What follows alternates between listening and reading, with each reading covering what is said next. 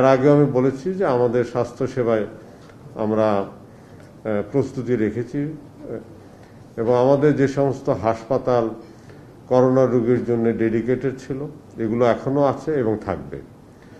আমাদের ডাক্তার, নার্সরা ট্রেন্ড আছে এবং তাদেরকে আবারও আমরা ট্রেন করছি যারা ট্রেনিং পায়নি। এবং আমাদের ওষুধপত্র এবং অন্যান্য যে স্বাস্থ্য যে সুরক্ষার জন্য, ডাক্তারদের যে সুরক্ষা সরঞ্জাম, পিপিই এগুলো পর্যাপ্ত পরিমাণে রয়েছে। এবং আমাদের এ বিষয়ে আমাদের সারা জেলাতে এবং সমস্ত জেলাতে যে কমিটি আছে, সে জেলা কমিটিকেও আমরা চিঠি দিয়েছি যে তারা সভা করে এই প্রস্তুতিটা আরও জোরদার করে এবং অবহিত করে অ্যাওয়ারনেস বিল্ডিংটা আরও বেশি করে। এই বিষয়টি আমরা অলরেডি পদক্ষেপ আমরা নিয়েছি। এবং পাশাপাশি আমরা এটাও করেছি, আমাদের যে যতগুলো মন্ত্রণালয় রয়েছে, এই মন্ত্রণালয়গুলোতে আমরা চিঠি প্রেরণ করেছি।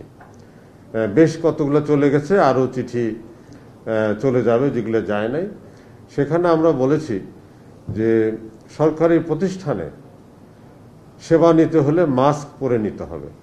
আমরা ইংরেজিতেও বলেছি নো মাস্ক নো সার্ভিস আমরা আমাদের হেলথের যত প্রতিষ্ঠান আছে, সেখানেও এইটি, এই একটি দৃশ্যমান জায়গায় একটি ব্যানার থাকবে, যেখানে এই কথাগুলো লেখা থাকবে। এবং অন্যান্য মন্ত্রণালয়ের অধীনে যে সমস্ত সেবামূলক প্রতিষ্ঠান রয়েছে, যেমন ধরেন পুলিশের দিকে যদি তাকাই, তাহলে থানাগুলো।